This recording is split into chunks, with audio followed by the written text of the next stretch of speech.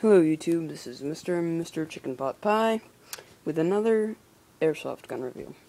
Alright, so I'm today doing my shotgun.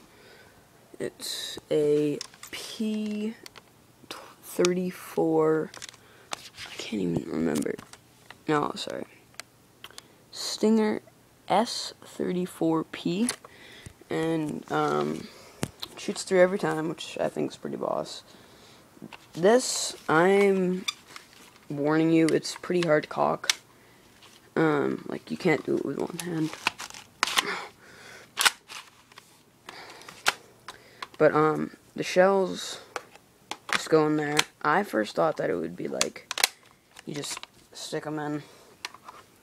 And you get two, by the way. Um, they are, it jams a ton Alright, let me just put this way. I would not re recommend getting this gun. It, um, once you do fire the gun, they spread way too much, and one goes up, one goes sideways. I guess that's the point of a shotgun. Um, the safety is right there, but my safety is screwed up, so I have to tape it here, so there's no way I can actually put it on safety.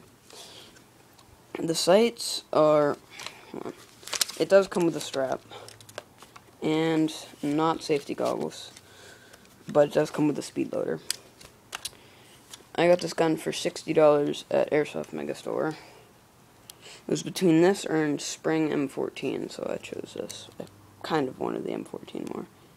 But those are the sights. Um, yeah, I mean, you're not really supposed to aim with a shotgun, but the button, this button, that's what triggers the door, and then you just take it out, put your new one in.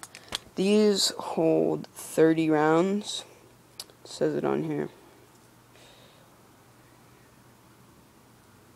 Um,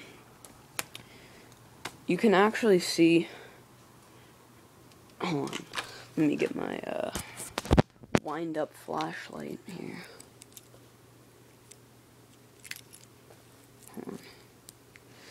Um, you can see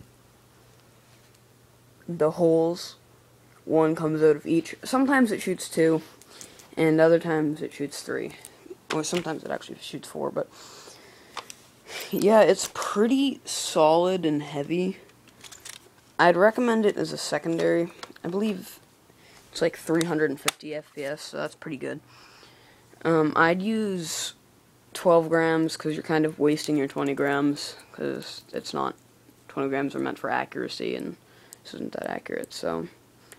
That is it for my Stinger 34 whatever it's called. Okay